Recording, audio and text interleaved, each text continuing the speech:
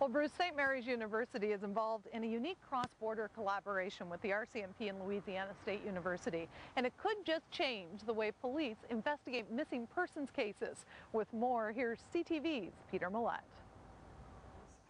So the next point is going to be just underneath your lip. Tanya Peckmann teaches forensic anthropology at St. Mary's University in Halifax. Her expertise is bone anatomy. Peckmann and her students are involved in a unique research project involving Aboriginal Canadians.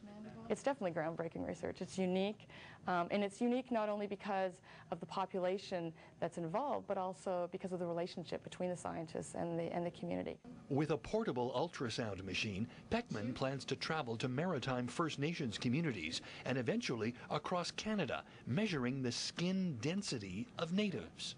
Let's do glabella, which is the point in between the two eyebrows. It's, it's not only an academic exercise, the data that Peckmann and her students compile will be turned over to the RCMP. It will help forensic investigators with cases involving facial reconstruction, age progression, and composite sketches.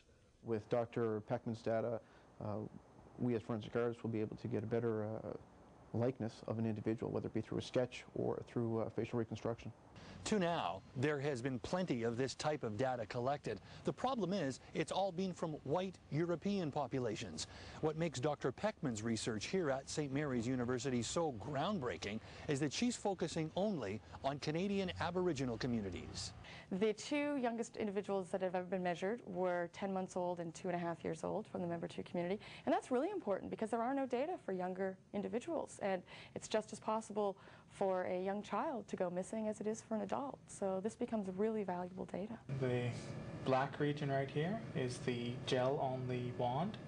The gray is the depth of the skin, and the nice bright white region is the bone.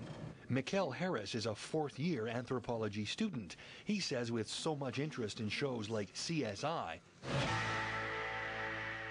he tried to resist enrolling in anthropology, but simply couldn't. And he says experience like this is invaluable. Being able to say that I worked on such groundbreaking research will definitely help me a long way. Facial reconstruction is not an exact science, nor is forensic anthropology for the faint-hearted. But Tanya Peckmann says the work is extremely rewarding.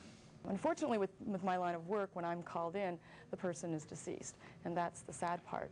But the rewarding part is that I'm able to allow the families to have some information about what happened to their family members. Although they've passed on, I can provide them with the answers that they need to be able to reach closure. Peckmann is now hoping her research can help a culture of Canadians she says are so often forgotten.